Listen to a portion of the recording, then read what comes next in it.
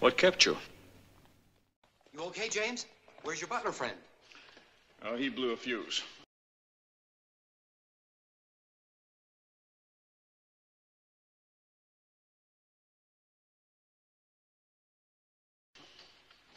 Three more ticks and Mr. Goldfinger would have hit the jackpot. Did you get him? Not yet, but he won't get far. And Pussy? She helped to switch the gas in the canisters. By the way, what made her call Washington? I must have appealed to her maternal instincts.